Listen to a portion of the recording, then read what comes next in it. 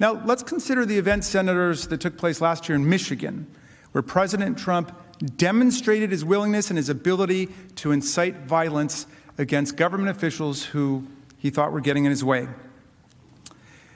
When responding to extremist plots in Michigan, Trump showed he knew how to use the power of a mob to advance his political objectives.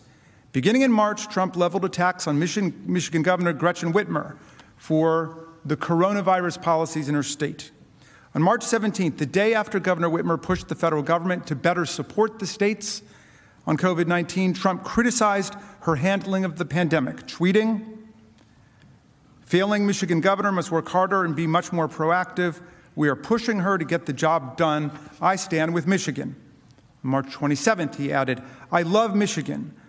One of the reasons we're doing such a great job for them during this horrible pandemic. Yet your governor, Gretchen Half Whitmer, is way in over her head. She doesn't have a clue, likes blaming everyone for her own ineptitude. Hashtag MAGA.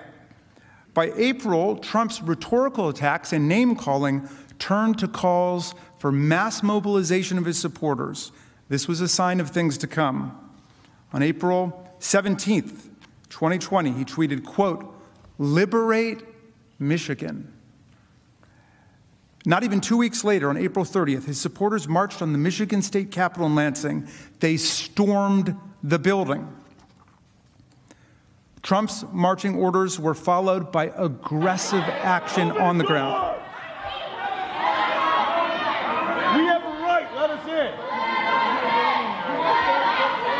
Let us in. Let us in. No more rainbows. No more. Heil, Heil Hitler! Heil Hitler, the winner! The Heil winner. to Whitmer! You policemen are all cowards! You betrayed us! The police have betrayed the people! Lock her up! Lock her up! Lock her up! Lock her up! Lock her up! As the video shows, these militant protesters showed up ready to take a violent stand. They came armed and tightly packed themselves into the building with no regard, of course, for social distancing. This Trump inspired mob may indeed look familiar to you.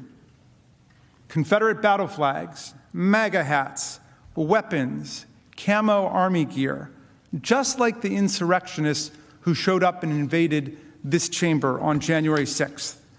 The siege of the Michigan State House was effectively a state level dress rehearsal for the siege of the U.S. Capitol that Trump incited on January 6th. It was a preview of the coming insurrection.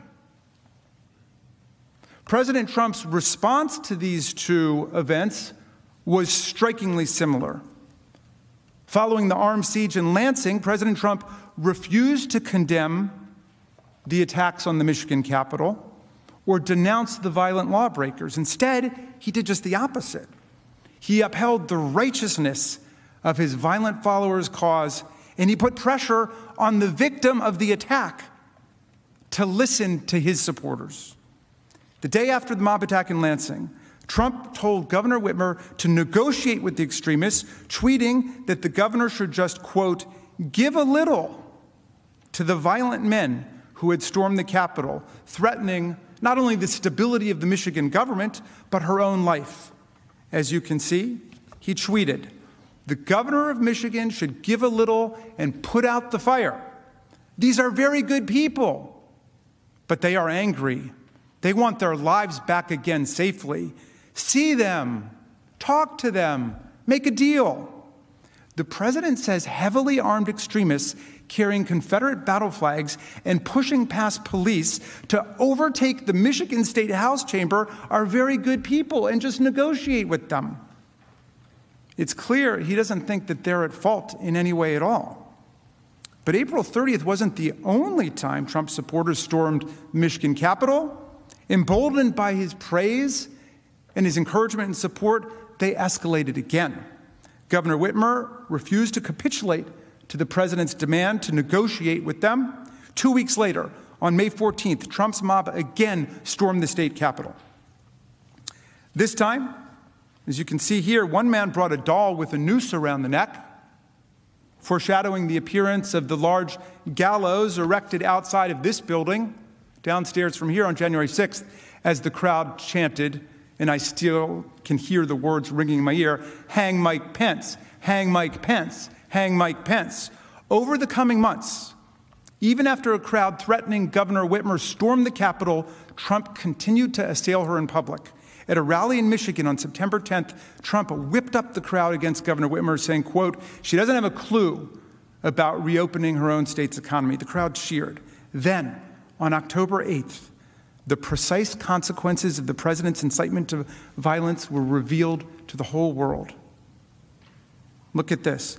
13 men were arrested by the FBI for plotting to storm the Michigan State Capitol building, launch a civil war, kidnap Governor Whitmer, transport her to Wisconsin, and then try and execute her. This was an assassination conspiracy, a kidnapping conspiracy. Look at the language that they used. In the charging document, the FBI reported that one of the conspirators said he needed, quote, 200 men to storm the Capitol building and take political hostages, including the governor. The suspect called it a snatch and grab, man. Grab the effing governor. One of those men has already pled guilty to this conspiracy. The plot was well organized, just like the one that was coming on January the 6th.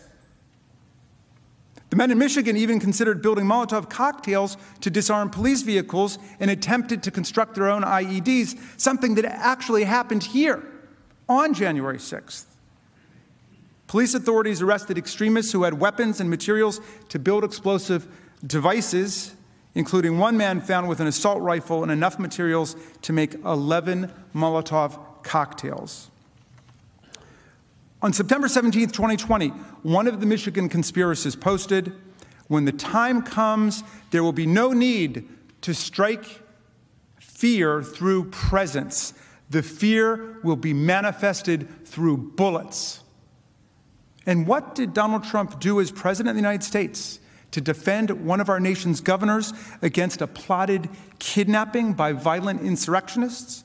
Did he publicly condemn violent domestic extremists who hoped and planned to launch a civil war in America? No, not at all. He further inflamed them by continuing to attack the governor who was the object of their hatred in this kidnapping conspiracy. The very night this conspiracy became public, and that Governor Whitmer learned that there were 13 men who were planning to kidnap and likely kill her, Trump did not condemn the violence. He did not criticize the extremists. He didn't even check on Governor Whitmer's safety. He chose to vilify Governor Whitmer again, and then amazingly took credit for foiling the plot against her, demanding her gratitude. And then he quickly, of course, changed the subject to Antifa. He tweeted, Governor Whitmer has done a terrible job. He demanded that she thank him for the law enforcement operation that had foiled the kidnapping conspiracy that had been encouraged by his rhetoric. On October 17th, a little over a week after these people were arrested for preparing to kidnap Gretchen Whitmer, Trump riled up a boisterous crowd in Muskegon with more slashing personal attacks on Whitmer, driving the crowd to chant, Lock her up, lock her up. He had now seen that some of his followers were prepared to engage in criminal violence with orchestrated attacks, deadly weapons, and willing bodies to storm a state capitol building and to attack his perceived political enemies. And so, as the crowd chanted, Lock her up, he pivoted to his next goal. He told them they couldn't trust the governor to administer fair elections in Michigan.